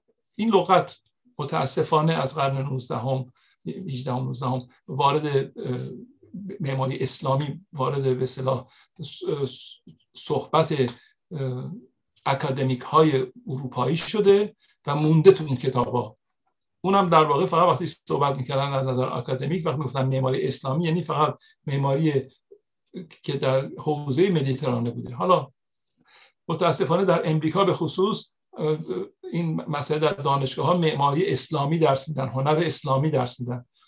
ولی خب این یه مسئله. اون چیزی که در ایران از خیلی جالبه که از روز اول اوایل انقلاب هم شروع شد بحث کردن لغت درستی معماری جوامع اسلامی. جوامع اسلامی وقتی میگیم نه کشوری هست نه جایی هست نه منطقه هستش. اون رو می‌تونیم بگیم که همین را در معماری جوامع اسلامی. و اگه من جای شما باشم هر کی گفت لغت معماری اسلامی شما بگین هم چیزی وجود نداره. اگر بخواستن بپرسن چرا وجود نداره بفرستینشون سراغ من. بسیار عالی. خب آقای سوال بعدی آقای بهدی نیک فرجان من میکروفون شما رو باز می‌کنم. بفرمایید. با عرض سلام و ارادت خدمت شما و آقای درخشانی عزیز. من یه سوالی داشتم. آقای درخشانی با توجه به اتفاقاتی که بعد از انقلاب اسلامی توی ایران افتاد و اون ایدئولوژی حاکم بر مبانی معماری و اون بناهایی که ساخته شد بعد از انقلاب آیا شما ساختمانی رو سراغ دارید که مستاق این مفهوم کسرتگرایی در معماری باشه بعد از انقلاب ایران؟ و اگر سراغ ندارید که من حالا تا اونجایی که حافظه من یاری می‌کنه همچین بنایی من به خاطرم نمیاد ما چیکار باید بکنیم که توی این ایدئولوژی یک سویه ای که الان حاکم هست بر گفتمان معماری ایران بتونیم به سمت ایجاد همچین بنایی بریم؟ خیلی ممنونم از پاسختون.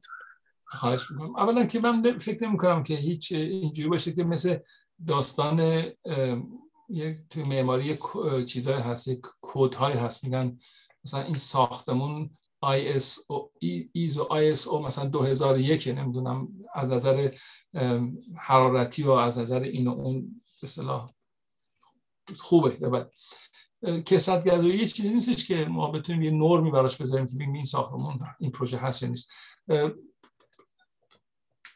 اون چیزی که هستش در ایران اتفاق افتاده بعد از انقلاب قبل و این دنبال هویت گشتن بودش یه مدتی که خیلی زود این رو کنار گذاشتن. برای همین شما می‌بینید که هیچ ساختمانی که ادعا بشه که این نمونه کامل به اگه بخوایم بگیم که اون رژیم حاکم میگه این نمونه کار منه. شما بزرگترین پروژه که دارن در, در حال اجرا هستش مسلای تهران هست که سالها و سالها و سالها و سالها هستش دارن در حال ساختمانش هستن و خودشون هم وسطش پشیمون میشن یا درست می‌کنن یا اینا. یک تعداد زیادی از پروژه ها یه مقدار ساختمان هستش که به اصطلاح همونطور که شما میگین تقلیدی هستش. یعنی که با گذاشتن یک دونه گنبد طلایی روی یک ساختمان اون اسلامی نمیشه. برای یک چیز خاصی میشه. شما برای بیمارستان می‌سازین که نمی‌تونه روش یه دونه گنبد بذارین که بگین این هویت اسلامی داره. خودشون هم متوجه هستن. بعد آسمون خراش ها ساختمان های بلند. همینا احتیاج شما وقتی فرودگاه لازم دارین با یک فرودگاهی داشته باشین. این فرودگاه باعث یک از یک فرم و چیزایی نداره. پروژه های من اون چیزی که تو ایران دیدم پروژه های بزرگ دولتی و حتی چیز کمتر هستش که بتونه یه همچین مثلا همچین دیدی وجود نداره شاید که جوابگو باشه. در که معمارای خیلی خوبی هم تو ایران هستن کار می‌کنن. برای همین شما می‌بینید اون چیزی که بهتر شده در ایران خیلی زیاد معماری های پروژه های کوچیکه. پروژه کوچیک کارفرماها خودشون میدن.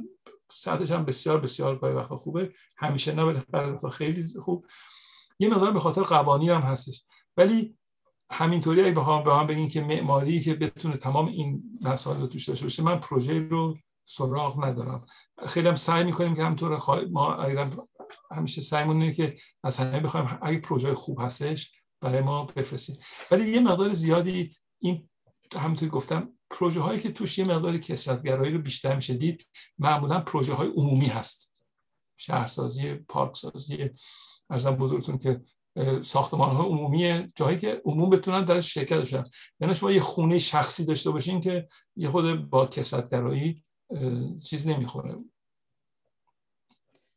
خب سال بعدی ما آقای احسان شیخ الحرم هست. من میکروفونشون رو باز می‌کنم سوالشون رو بپرسم. انگلیسی نوشتن اگه ممنون میشم اگه سال مستقیم بپرسید. آقای شیخ الحرم بله بله بله خواهش میکنم خیلی ممنون داریشتون ممنون جناب درخشانی uh, what I wrote in the QA is this I will just read it and uh, I see that uh, Project Builder Aga Khan Development Network were never recognized by the Aga Award itself, meaning that in a way, a huge amount of development that is done by the Aga Development Network are not recognized by the award itself. What is the reason that it is of this self-censorship, as it were? خب اسم این رو من سانسور نمی‌ذارم اسمشو باید اسم بهتری براش بذاریم بله ببخشید. اولا که یک این که فرضشون ببخشید ببخشید. اگر یه خلاصه یه به فارسی بگین چون ایشون سوال انگلیسی پرسیدن. بله. بله. مثلا اینجاست که چرا جایزه آخان هیچ وقت به یکی از پروژه هایی که شبکه اجتماعی آخان اجرا کرده جایزه نداده. خب دلیل اولش اینه که اسم این جایزه جایزه آقاخانه. و آخان خودش نمی‌تونه بیاد یک یک سیستمی به خودش جایزه بده. اون سیستمش. این بعد یه خود ناجور میشه مسئله. به همین خاطر هستش که ما البته خودمون یه دی پروژه ها رو می‌سازیم چند تا چندین از این پروژه ها مثلا فرض کنید اگه قرار باشه که یه بیمارستان رو ما در صحبت بکنیم جزء بیمارستان یکی از مهمترین بیمارستانی که چندین توی 40 سال گذشته شده بیمارستان که آخان در کراشیه از نظر یعنی که واقعا از همه نظر نظر معماری کار ایناش به صفه است. یا خیلی پروژه های دیگه پروژه که ما خودمون کردیم در پارک مثلا قاهره الازهر یا اینا همه پروژه های بسیار موفقی هستن. ولی به همین دلیل از جزو شرایط اینه که هیچ پروژه‌ای که مربوط به جوری اعضای جوری اعضای هیئت امنا یا شبکه آخان باشه در این مسابقه نمی‌تونه شرکت بکنه. این شرایطی که هر مسابقه یک شرایطی داره و این هم جزو شرایطش هستش. البته به خاطر برای شناسوندن اونها ما باید نگاه کنیم که مثلا فرض کنیم از طریق سیستم های آگاهی رسانی که داریم مثل آرچنت یا اینها اونها رو به صلاح معرفی کنیم کتاب دربارش هستش بنویسیم و اونها رو بیشتر معرفی بکنیم. بسیار عالی. آقای سال دو سال دیگه اینجا داریم و یه دو سال در بخش چت. آقای رضا حسنی من میکروفون شما رو باز می‌کنم. سالتون رو بپرسید.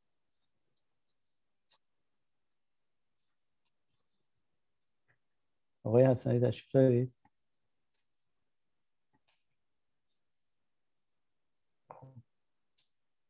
گویا میکروفون ایشون تأخیر داره هنوز. الو؟ انگار میکروفونشون نه. کار نیستن خب آقای آقای محمد علی مؤمنی من میکروفون شما رو باز می‌کنم. ان که شما میکروفونتون باز باشه. صدای ما رو دارید آقای مؤمنی خودشون هم بس میکروفونشون رو بزنن باز کنن. آره باید میکروفونتون رو باز کنید. بله. سلام. سلام. سلام. عرض ادب به هر دو عزیز. یه سوالی که من می‌خواستم از خدمت آقای دکتر بپرسم اینه که از یه مقطعی به بعد توی شهرها بحث ساماندهی معماری ها پیش اومد و شروع کردن در واقع شهرداری ها تدوین در واقع شکل و شمایلی که خیلی از خانه ها خیلی از بناها رو شبیه همدیگه کرد. چون اینجا بحث کسرت بود برای خود من همیشه این سوال مطرح بوده. حالا چون شما اینجا بیشتر در مورد مفهوم کسرت در یک بنا صحبت کردید من می‌خوام این در واقع کسرت رو در کلیت معماری خانه ها در یک شهر بسنجم و ببینم که مثلا یه موقعهایی تو خود همون تهران می‌بینیم که اون جاهایی که شهرداری ها دخالت کردن برای اینکه در واقع به قول خودشون متحد شکل باشه یا ساماندهی بکنن این وضعیت رو واقعا روح یک شهر رو از بین بردن. یعنی یک مثلا حالت پادگانی به وجود اومده. اونجایی که صحبت از مثلا کسرت میشه گاهی به سمت هرج و مرج و در واقع زشتی چهره شهر میره. البته مثلا در فرهنگ خودمون خب قبل از اینکه شهرها مدرن بشن می‌دیدیم که واقعا هر کسی هر جوری که خونش رو دلش می‌خواست میساخته اما می‌دیدیم که در کلیتش به حال یه هماهنگی داشته. اما در واقع این دوتا رو می‌خوام بدونم که کسرت کجا در واقع می‌تونه به مفهوم آشوب باشه و از اون طرف ساماندهی کردن یا متحد شکل کردن و اینا به مفهوم یک شهر پادگانی باشه. این اینها رو اگر که توضیح بدید من خیلی خوشحال میشم بدونم. سپاس از شما. خواهش می‌کنم. حالا یه دو تا مسئله تاریخی براتون میگم. به صلاح یک نواخت شاید بگیم اسمش یک نواخت سازی یا شبیه همسازی یا استانداردایز کردن هر استاندارد شدن. ما از نظر تاریخی می‌دونیم که شهر پاریس در یک نقطه یک شهردار خیلی خیلی به موفقی داشت آقای حسمن. و این اومد خیابون تمام شهرها رو شهر رو که ساختمان قدیمی رو خراب کرد کوچه های رو پهن کرد گشاد کرد و چند نوع ساختمان رو گفت تعریف کرد که اینقدر ارتفاع ساختمان می‌تونه باشه. این هم تعداد جوریه که توی شما می‌تونید نماهاتون رو بسازید و در عرض چندین سال چندین دهه یا اینا شهر پاریس شد این چیزی که وجود داره و بعد بهش می‌گفتن عروس شهرها. چون که یک هماهنگی در همه ساختمان ها بود یک هماهنگی در خیابان ها بود اینا که همش با زور آقای حسمن شروع شد و بعد ادامه پیدا حالا یه مسئله دیگه براتون می‌زنم به کلی از اون طرف. باکو یکی از شهرهای بسیار زیبای تاریخی هستش و یک جایی هستش که به اصطلاح مثل نمونه معماری همه قرون و اینها رو داره. از جمله یک مقدار بسیار زیادی در زمان برژنف و در زمان خورش برژنف در موقعی که ساختمان های خیلی بد می ساختن در شوروی یه مقدار زیادی هم خونه های بسیار خونه سازی بسیار زشت و از وحشتناک در باکو هم ساخته بودن مثل همه جای دیگه مثل خاروق مثل هر جش دوشنبه هر جش چون یه دفعه پولدار شدن آذربایجانی اهالی باکو اومدن چیز گذاشتن تمام و یه سنگ خیلی سفیدی که آسون کنده میشه هم دارن. یک دفعه در عرض چند سال تمام اون ساختمان های زشت چند طبقه خونه سازی باکو که به طرف خیابونا بودن فاساداشون همشون شدن تر و تمیز. ولی همون ساختمان از پشت که نگاه می‌کنید چه وحشتناک. ولی وقتی شما تو خیابون می‌رفتین می‌گفتین به به چه شهر قشنگی چه جای قشنگ حالا این مسئله اتفاقات زیاد میفته هم مثل هم ساختن. مسئله اشکال کار سلیقه است. سلیقه یه چیزیه که سلیقه عموم و سلیقه شخص حق کی داره که چی سلیقش باشه یه بحث بسیار درازیه. شما در وقتی که میرین فرض کنید که در شهر یزد یا کاشان یا غیره که برای همه خیلی مهمه میگین که به به اینجا قسمت تاریخیشون چقدر هماهنگه. اولا خب چند تا مسئله در نظر بگیریم. یکی اینکه تکنولوژی که داشتن همه هم همون قدر بود همه بیشتر دو طبقه نبود ولی مردم مردم میشه قبول می‌کردن که این جور می‌سازیم. پس وقتی همه با یک اصولی ما توافق داشتن همون می‌سازیم مدرنیزم اینجا از بین برد یه مقداری. مثل اینکه هر کسی میگه من هر جور دلم می‌خواد می‌تونم بسازم. خب به خاطر همین در تهران هم قوانین اینهای شهرسازی و اینها نبودش. درست به اون صورت کامل و هیچ هیئتی هم مثل سوئیس نیستش که شما هر ساختمانی می‌خوام بسازین باعثی از چندین جا اجازه بگیرین اینها. و ساختمان های مختلف ساخت شد. حالا متاسفانه بعضی وقتا در بعضی از محله ها یه شهرداری یا یه عده میان میگن که همه رو مثل هم بکنین یا اینا که شاید جلو یه زشتی ها رو بگیره ولی یه زشتی های دیگری وجود می‌بره. ولی بهتون بگم یک پروژه خیلی جالبی که در تهران اتفاق افتاد و واقعا نظرم پروژه بسیار خوبیه. پروژه بدن سازی بهش میگن شو پروژه بدن سازی بدن سازی خیابان انقلاب. خیابان انقلاب رو شروع کردن از نزدیک دانشگاه و بعد تا نزدیک میدون فردوسی که سعی بکنن ساختمان ها رو برگردونن یه مقداری شبیه سی چه پنجاه سال قبل. و موفق هم شدن. شهرداری کمک می‌کنه. چون اتفاقی که افتاد این بودش که یه موقعی ساختمان ها رو با آجر می ساختن در تهران. بعد همه خواستن دلشون روش سنگ ترابرتن بکنن. بعد اومدن کولر گذاشتن روش بعد اومدن چیز کردن. خلاصه لایه لایه لایه زشتی های رو به وجود آوردن.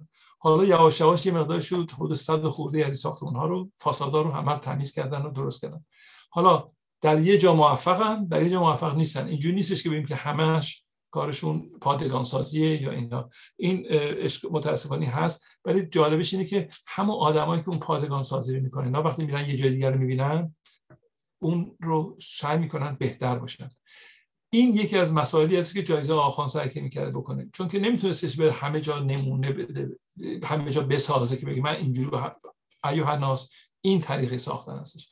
ما با آگاهی رسوندن که کار خوب چی هست بقیه شاید تحت تاثیر قرار بگیرن و اون کار خوب رو بخواد کار خوب رو هم بهترین نیست که کارفرما خوب بخواد.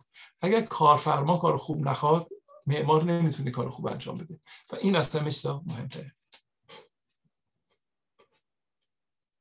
وقت ما کمابیش رو به اتمام ما حدود 13 دقیقه دیگه وقت داریم. سه تا سوال اینجا اومده در بخش پرسش و پاسخ. من سال اول سریع می‌خونم.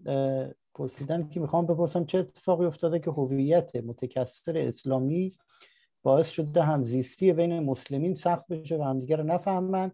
ولی از معماری بخوایم اینا رو به هم نزدیک کنیم.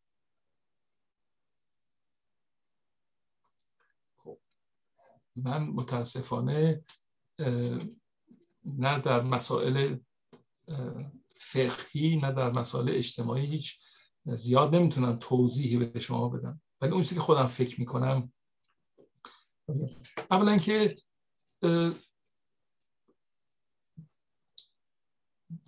جامعه واقعیت واقعیت جامعه اون چیزیه که ما می‌بینیم. همش با همه زور تاثیر داره ولی تاثیرش آنچنانی نیست. تاثیرش میگم آنچنانی نیست هست تاثیرش انکار نمی‌کنم وقتی مخصوصا که با زورش خیلی شدید با برخورد بشین ولی مقاومت اجتماعی هم خیلی مسئله مهمی و اون چیزی که می‌بینیم در همه جا چجوری مقاومت میشه. مسئله مقاومت اینه که وقتی شما میگین اولا که شما فراموش نکنین که همچین چیزی هم نبوده که جواب اسلامی با هم همیشه خیلی خوب بودن. ما تا زمان فکر کنم درست نمی‌دونم دقیقا کی بود ولی زمان رضا شاه بود یا کی بود که تا اون موقع اصلا اهالی هر قبول نداشتن اصلا شیعه ها اصلا اصلا هستن یا نیستن یا اصلا داستان چی هستش. من یه دفعه برام خیلی جالب بودش که بگم مقدار ناآگاهی هستن دیگه. یکی از بزرگترین متفکرین اسلامی اندونزی نور خالص مجید عضو هیئت امنای ما بود سالها و من با ایشون آشنا شدم. بسیار آدم شریف بود متاسفانه فوت کردن ایشون و ایشون یکی از سه رهبران اصلی بودن که سوهارتو رو نه خودشون رهبر جنبش های اسلامی بودن که سوهارتو رو از بین حکومت سوهارتو رو از بین بردن. ایشون دکتراشون رو از دانشگاه امریکایی گرفتن در تئولوژی. و استاد دانشگاه بودن بسیار کتاب های مهمی هم نوشتن. من نخوندم کتابشون رو. حتما داریوش خونده که بهتون می‌تونه بگه. ولی ایشون یه حرف عجیبی به من زد. داستان 20 خورده سال پیشه. گفت من اصلا نمی‌دونستم که علمای شیعه فلسفه یونانی بلدن.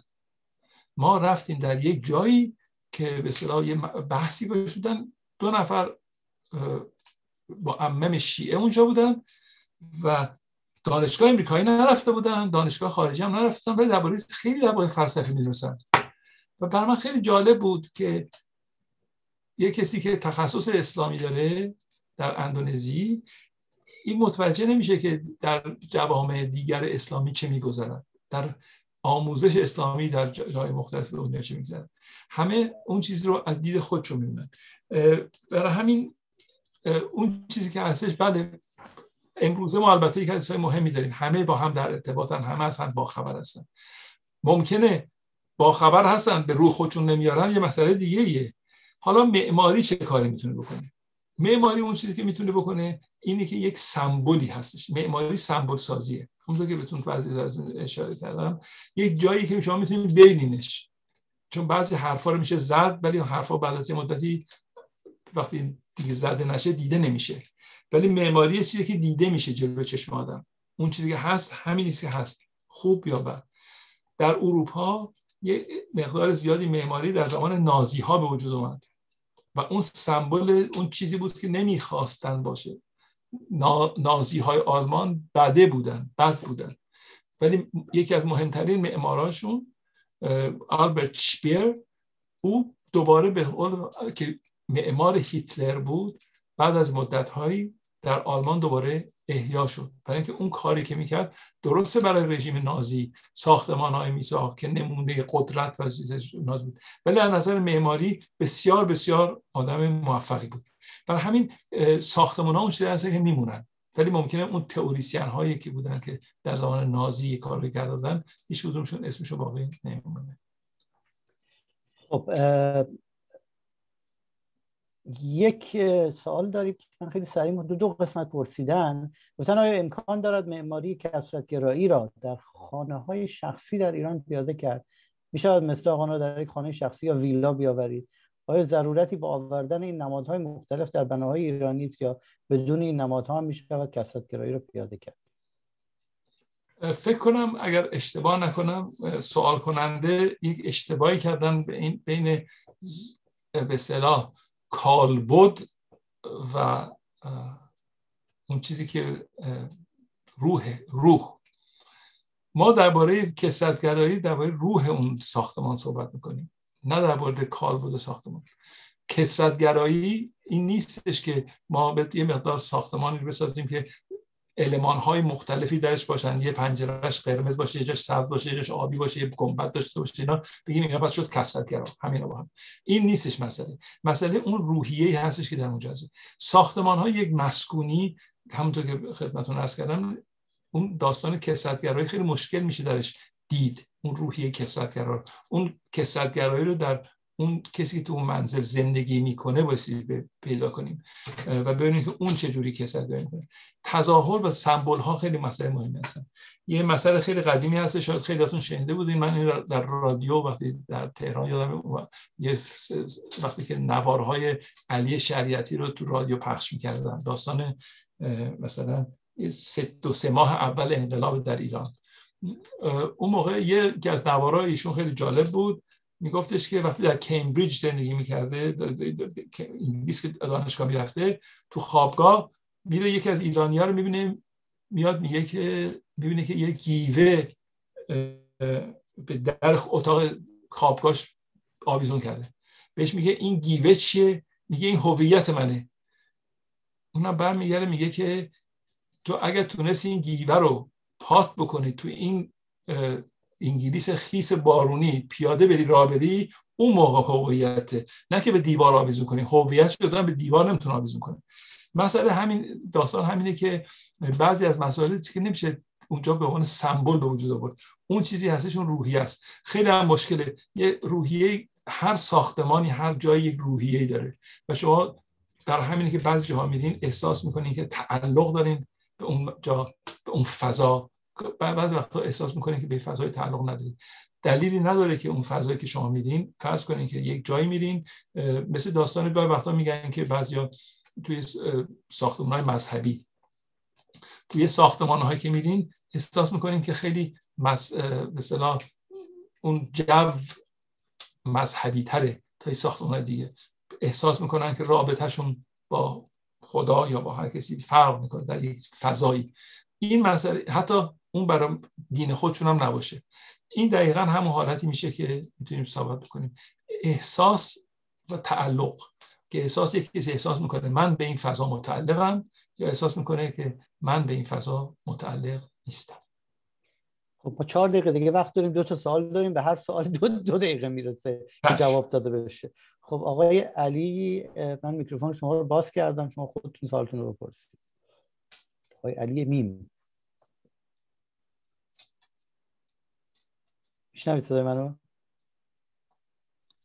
شب بخیر سلام جناب مهندس رخشانی. من متاسفانه اول جلسه رو از دست دادم ولی سوالی که داشتم این بود که و شاید چون به بحث گذاشته باشه سوال من تکراری باشه. عرض من این بود که آیا معماری برای معماری کسرگرا انسان و جامعه کسرتگرا می‌خوایم و غیر از اون به نظر معماری کسرتگرا به وجود نخواهد آمد. نظر شما در این باره چی؟ ببینید مسئله مرغ و تخم مرغ نیستش. مسئله اینه که انسان ها زندگی می‌کنن ساختمون ها به وجود میان. انسان ها از بین میرن ساختمان ها هنوز مدتی بیشترشون میمونن. ساختمان ها هم تغییر می‌کنن. اتفاق زیادی میفته که ساختمان ها هم سال تغییراتی میشن. برای همین اون که کدوم اول میاد رو سخت گفتنش. به حال اون چیزی که هستش اینه که آن چه ما در شهرها می‌بینیم معماری ما می‌بینیم اون نشان دهنده واقعیت اون اجتماع هستش. اگر که یک هرج و مرجی شما پس در معماری شهری می‌بینین اون هرج و مرج در اون جامعه هم به حال یه مقداری وجود داره.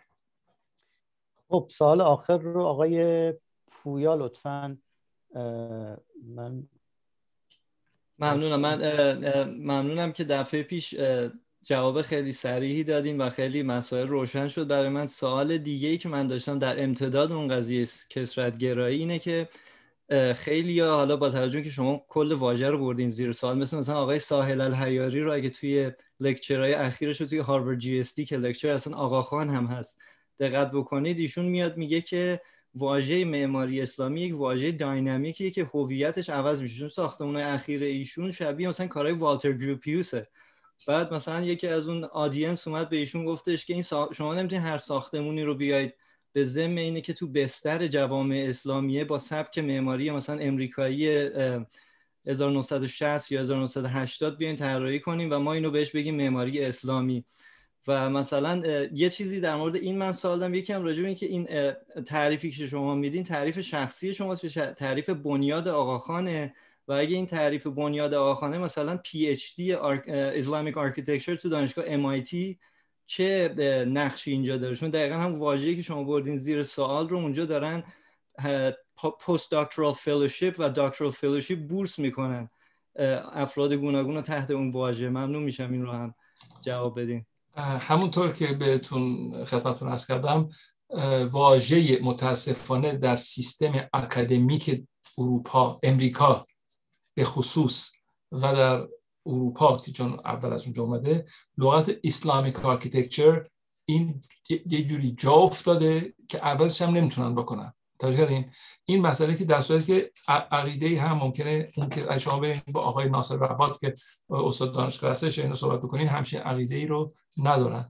ولی که این یه مسئله که دیگه به این به قول فرنگی that's the word they اون همونی که این بهش این نمیگن برای همینه که دیگه از روز اولم اسم اون وقتی که درست می‌کردن اول گرامار چون خودش استاد اون یکی از کسایی که مؤثر بود در به وجود آوردن اون رشته در دانشگاه هاروارد و MIT اسم گذاشتن Islamic Architecture Alcon Program for Islamic Architecture.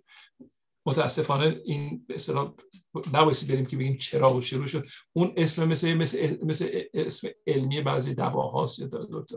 زیاد برام نمی‌تونم بحث بکنم. ساحل الحیاری واقعا یکی از بهترین آرشیتکت هایی هستش که تو این نسل خودش هستش. ساختماناش واقعا فوق العاده است. و او بیشتر درباره روح ساختمان صحبت می‌کنه من توجه این رو چون شخصا خیلی خوب میشناسمش ولی که هم نقاشه هم هنرمنده هم آدم بسیار چیزی هستش. و ساختماناش من تصور نمی‌کنم که بگیم که ما این یک شبیه معماری امریکایی یا گروپیوسی یا اینا اصلا نبرن که اون یه خلاقیت خودشو داره از اون کوچیکترین ساختمانی که یه مطب بودش درست کردش تا اون خوی خونه ای که درست کرده که مثلا یه حیات داره که میپیشه دور هم دیگه و طریقه ای که روی هر اون چجوری اون فاساد ها رو درست کرده واقعا از نظر معماری یک کار بسیار بسیار فوق العاده حالا من نشیندم درست نمی‌تونم نبایستی صحبت بکنم درباره اون حرفی که او ایشون زده درباره معماری. ولی اون چیزی که تصور می‌کنم منظور ایشون بوده اینی که باز برمیگردیم که اون روحی است. اون روحیه ساختمانی هستش اون لایه هایی که از اون روحی هستش که چه فرقی می‌کنه که اون احساسی که تو اون ساختمان می‌کنید احساسی که در اون منطقه می‌کنید چقدر به شما نزدیکی رو به اون فرهنگ میده که اگه یه لایه هایی از مثل لایه هایی هستش که از فرهنگ اسلام فرهنگ اسلامی لغتش بازم اونم مشکل گفتنش برای که جوامع اسلامی برای که فرهنگ ها هست جوامع و اسلامی. برای این چند تاست که همشون جمع فقط یکی که لغت اسلامی هستش که مثلا فرد نیستش. خب خیلی ممنون. من یه نکته آخری که من اون سوالی که می‌خواستم بپرسم چون خیلی طولانی بود دیگه نمی‌پرسم.